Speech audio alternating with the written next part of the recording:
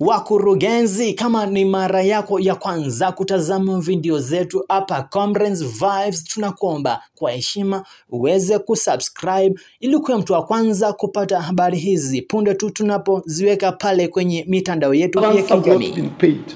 Things are bad in this country to a point that children are going without food up to four days in a row. Things are bad in this country. At the same time, electricity is high. There is no hunger. There is no help. Petrol is high. Things are bad in this country. And the Kenya police have arrested me four times illegally.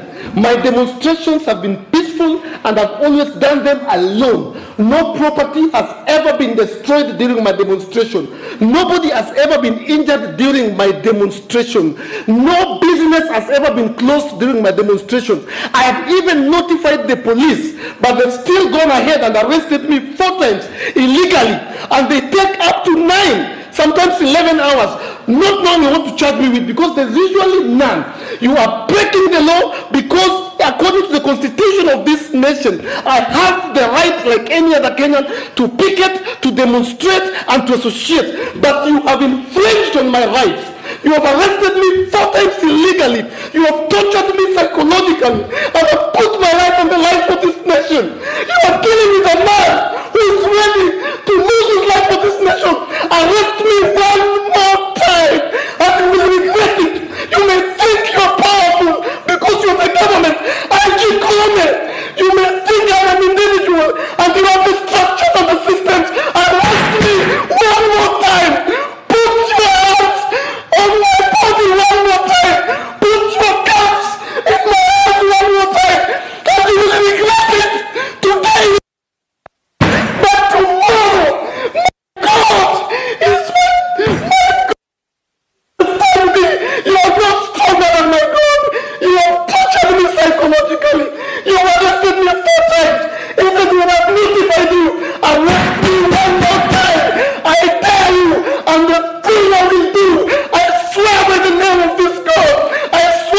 name of God.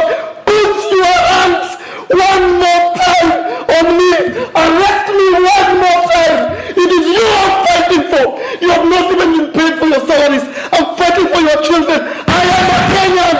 Nobody has ever been affected by my demonstrations. You arrested me every single time. And I've never spoken about it. I just call me with your name. Put your hands on me one more time. If you think this is comedy or a threat, I dare you. Arrest me one more time if you're men. Arrest me one more time. Country's gone to the dogs. And the government has the power to do something. And I'm giving my voice to your children.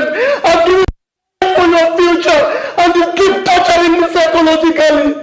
Recently you arrested me. It took you 12 hours to charge me because you had nothing to charge me with.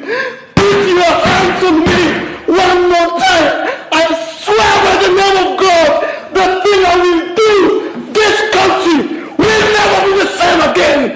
This country will never be the same again. Put your hands on me. I dare you. I swear. Try me and see. We will rescue this country by force because the government can do something and they're not doing anything about it. They're playing with our lives. They're politicking with our children. They're playing with our future. Kenya Police Force, because you're no longer on service. You laugh every time you arrest me. It has become a charade. You enjoy it when you arrest me. I don't know where you get the orders from. Touch me one more time. You are breaking the law. We will break it together.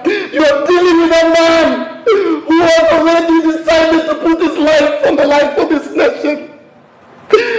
Put your hands on me one more time. Put your hands on me one more time. I swear to the living God, what I will do change the course of this nation. If you arrest me, this is the last time I'll be talking to Kenyans. If you put your hands on me, if you put your cuffs on my fingers, do not release me. Because I swear to God, the living God, you're not more powerful than the God that we serve with your machinery and your government.